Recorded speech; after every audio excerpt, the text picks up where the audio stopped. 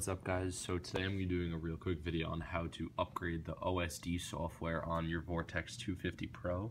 So the reason I'm making this video is I tried following the instructions and I actually ran into a problem that was with Immersion RC's website.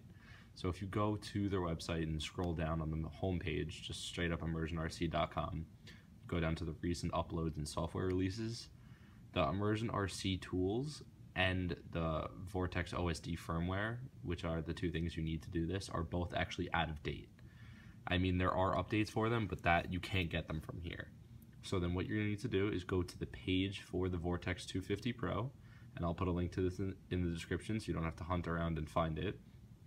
You scroll down about almost all the way, and you get right here to specifications and support files. Then what you're gonna do is go to firmware and downloads, download the official firmware, at least in my case, the official one. You can do a beta. I'm not doing that because I don't want to screw with it if it's not official, just in case there's problems with it.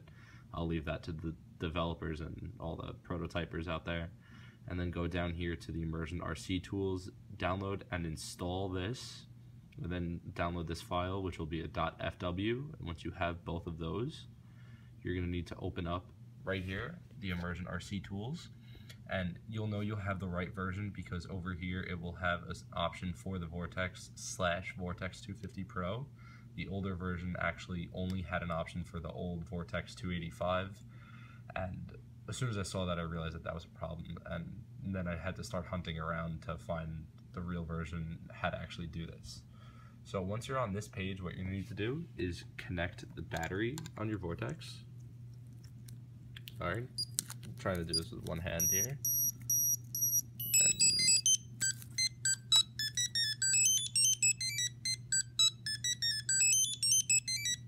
Yeah, once you update to the latest software version, not the one that comes with the Vortex, you'll be able to set that or the Imperial March as your startup tone. Then the next step is to plug in your USB cable. And for those of you who don't know where the USB port is on your Vortex, first of all, open your eyes. Second of all, it's right under the LED board. So just plug that in. And once it's plugged in, you'll hear your computer recognize it, come over here and hit read settings from Vortex. It may take a second and give you a little spinning wheel. And then you'll hear a ding or whatever to let you know that it recognized it. Go up here to program, update firmware, get your firmware file right here. It's going to tell you it's to start updating.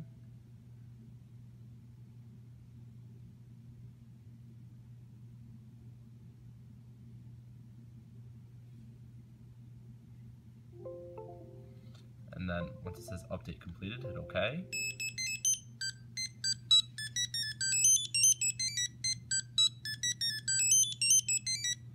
And if you have your pair of goggles ready like I do, and you try to look through them, you'll notice, uh, I know this is never ever going to work, but you'll notice that there's no OSD.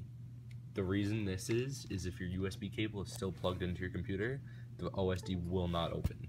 So now once you remove the USB cable, let me see if I can actually get this to view. I really need to get a DVR. It's kind of hard to see, but the OSD is there. So now if you want to check, just power cycle it. Whenever you're doing upgrades on stuff, it's always been custom of mine to power cycle them, especially electronics that have main boards that are being updated.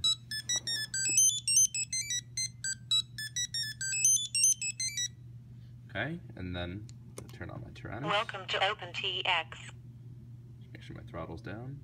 And another tip, make sure your props are off just in case something happens. You don't want to lose a finger. So whenever you're doing updates and stuff, Cleanflight, OSD, anything, just take your props off. It takes five seconds and it may save a finger or a laptop screen or you know whatever's around you.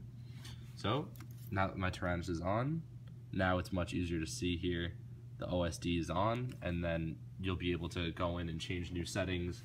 And actually, the release log comes with every firmware file, which tells you what's new from the previous version. So if you're curious what comes with it, just take a look at that. And that's it. So under five minutes, you'll be able to get the OSD updated. And I'll catch you guys in the next video. Peace out.